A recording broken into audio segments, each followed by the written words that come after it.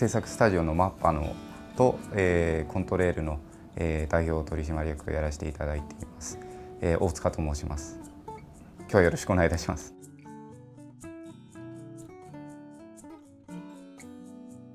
マッパでこの世界のさらにいくつもの片隅にという映画を作りました、えっと、片渕と申します。で今年からはですねコントレールという会社ができて、えっと、そこでまた監督することになっています。よろしくお願いします。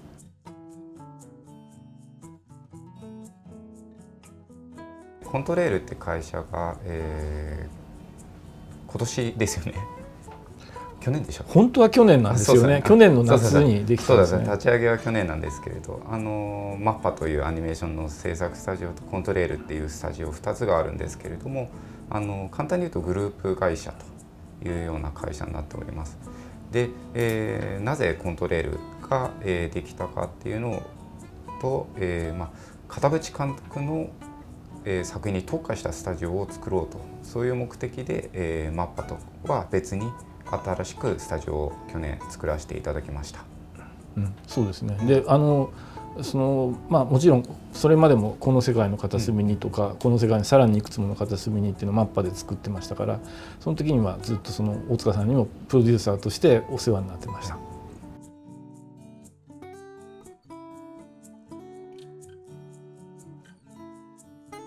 意味合いはやっぱりあってあのマッパっていう会社が2011年にできたんですけれどもその創設者が、え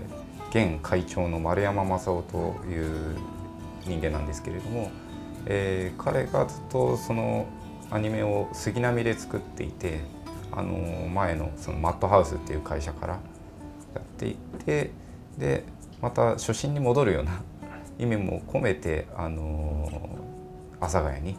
えー、マッパっていう会社をスタートさせたっていうのがあの一番の経緯になると思います。うん、だから丸山さんとずっと一緒に僕も仕事してたからそういう意味で言うと多分25年以上は杉並でずっと仕事してますね。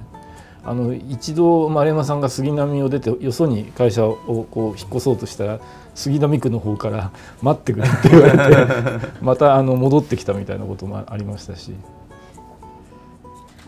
本当今ね大きいマンションになってるんですけどあちらでねそうこのすぐ隣のところがずっとあのその25年前に僕が杉並に来て最初仕事を始めたところがこのすぐ隣だったんですけど今はあの建て替わって大きなマンションになってますけど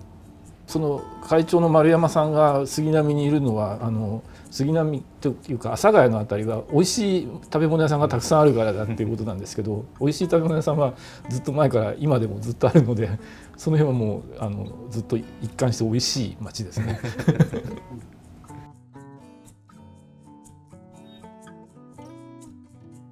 あもちろんそうですねあの鈴木真一さんもあのずっと昔からあのなんかそのなんだいろいろなことでご一緒させていただいたりもしてますしから「この世界の片隅に」っていう映画はあの完成したのが2016年なんですけどもあの作り始めたのが2010年ででどちらかというとその準備期間の間にたくさんの人にその映画こんな映画これから作るんだよって認知してもらいたいなと思ってたんですけどあのそういう意味では全然作品できてない頃にポスター作ったりしてそれもそうです、ね、あの杉並アニメミュージアムにも展示していただいたりいろいろあのそういう関係があります。うちの作品も展示してもらったりそうですね。なんかイベントみたいな感じで。最近もあのうちの今年アマッパのオンエアした作品だったりとかのなんか展示とかあのやっていてくれてると聞いてますね。うん、うん、杉並の人にね見てもらえるといいですね。そうですまず 地元地元のね、あ地元でこういうのが作られてるんだっていう。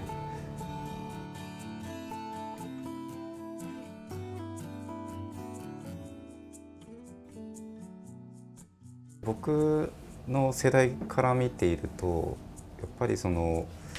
日本のアニメのトップに立っていた人たちの影響っていうのが大きいのかなとは思っていて、まあ、宮崎監督だったり高田監督だったりで、まあ、片渕さんもそうなんですけれどそういった人たちがその日本でアニメを作るっていうところでのその最高峰の技術っていうところで作品を続けて作り続けたっていうところで今のその手書きの、えー、スタイルが日本のえー、アニメ映画なんだっていう、えー、海外に対して印象を作ってったのかなっていうふうに思います僕は思ってるんですけどどうですかね。うん、だからあのまあ、一つはだからあの絵が動くっていうことのその喜びみたいなところから自分たちの作品作りが始まってるなと思うんですね。ですから僕もあのたくさん作品作るんですけどできるだけその手で描いてるっていうあのその何て言うんですかね肌触りみたいなものがあの感じられるように作品作りしています。それからあのその日本の有名なアニメーション監督の押井守さんに一度あのお話ししたことがあってこの世界の片隅にご覧になってくださってその時押井さんが言ってたんですけど押井さんはもちろん手書きのアニメーションでもあの素晴らしい作品を何本も作られてるんですけど CG のものも作られていてでその押井さんが言うにはそのやっぱり手書きは良いな。で何が良いのかっていうとその CG のアニメーションはその時々のそのテクノロジーのあの技術的な発展の度合いがあのそのまま影響されていてあのある瞬間に作った時には最高峰だったんだけど何年か経つとその技術的にはもっと素晴らしい技術が生まれてしまうから何かそのちょっと取り残された感じになって古く見えてしまったりもする。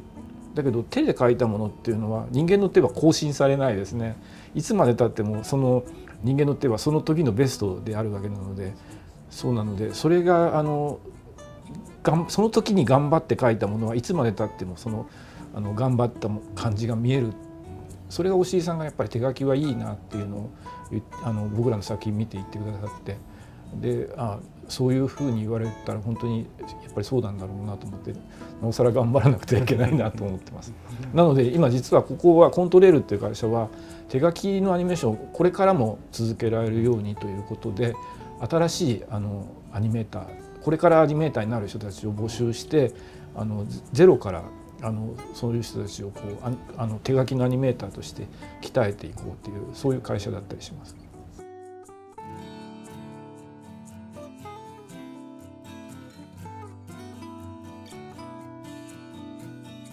あのね本当にね映画祭とかそういうの行くと分かるんですけど国境ないんですよ。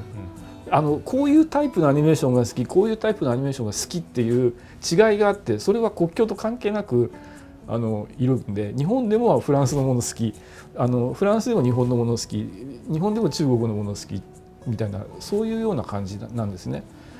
なのでそれは本当に何ていうんですかねあの実はいろんなその我々の現場っていうのがもうすでにあの日本だけにとどまってなくてあのいろんなところにもうすでに広がっていてその中であの日本のものがアニメーションが好きだなっていう人があのあのどこに行ってもたくさんいるという感じですね。丸山正夫さんってさっきから名前出てますけど